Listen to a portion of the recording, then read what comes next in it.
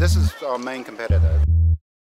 We're trying to get away from this stick frame building to this. It's a composite insulated concrete form. We intercept EPS or polystyrene waste. We chip that waste into small spheres. We coat it in cement and press it into these panels.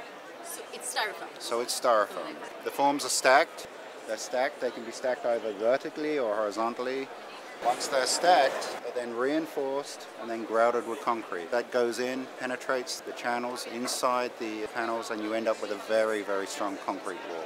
Not only is this environmentally more friendly in regards to the materials we use because it's recycled, but also if you look at this, this is a stick frame house. The blue means good insulation. So he spent a lot of money on his windows, but he doesn't realize that the whole wall is leaking his energy. There's a perform wall house, and you'll see the blue represents no leakage of energy through the wall. We are a very green product. We use 85% recycled, but we also recycle our manufacturing dust as well. So we're actually at about 95% recycled. Not only that, but once the house is built, we're also saving massive amount of energy on cooling and heating. If we're compared to a typical two, two by four home, we're about five to seven percent more expensive. If we compare ourselves to a two by six home, if the home is fairly elaborate and has elaborate architectural detail, we are cheaper.